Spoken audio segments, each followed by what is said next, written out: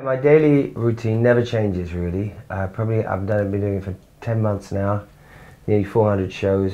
I think I've had the same meal every single day. It's a sort of mix of um, OCD and um, superstition. It's slightly sad. And I should try and break out of it really, but I then I think, oh, everything's going to go wrong if I do, so I don't.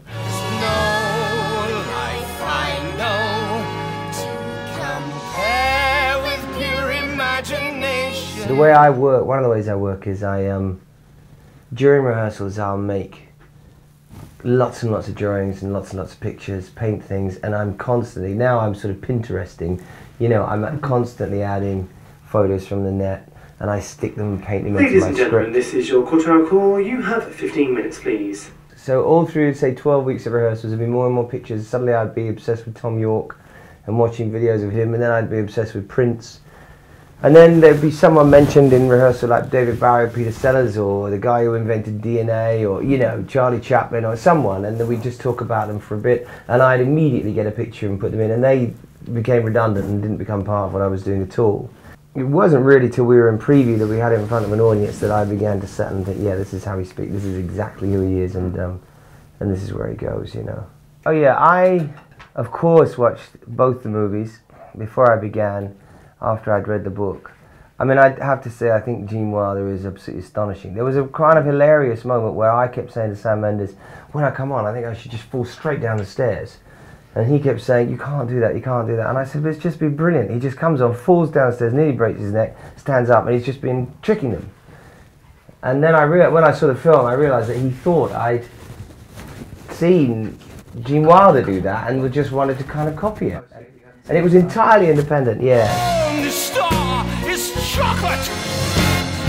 Must be believed to be said. Well, so I'm just getting into my Wonka costume. So the book is very, very particular about, you know, what it should be. It describes exactly the purple jacket and all that kind of stuff. The boots are beautifully made. They're a bit worn out now, but um, so I wear the bottoms of the shoes out every four to six weeks for the amount of miles I run in the show. There's one bit I hate, which is the hat. I hate the hat. I've always hated it. Um, the hat, particularly because it has a microphone inside it. So you can see inside the hat is where they keep the mic pack. And it makes the hat very, very heavy, and the mic pack gets very, very hot. So I, that's the bit, once you've done eight, nine, ten months of this show, things like that begin to drive you crazy. I better put a jacket on. But the rest of it I love.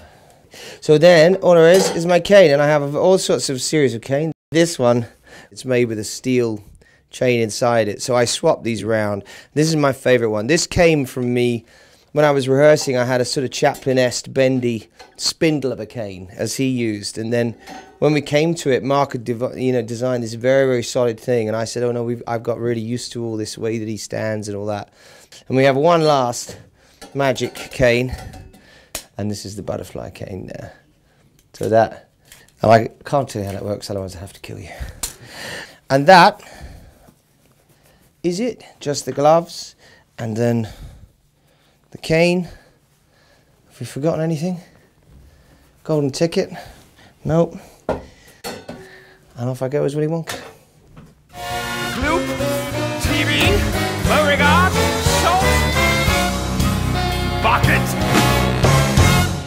in.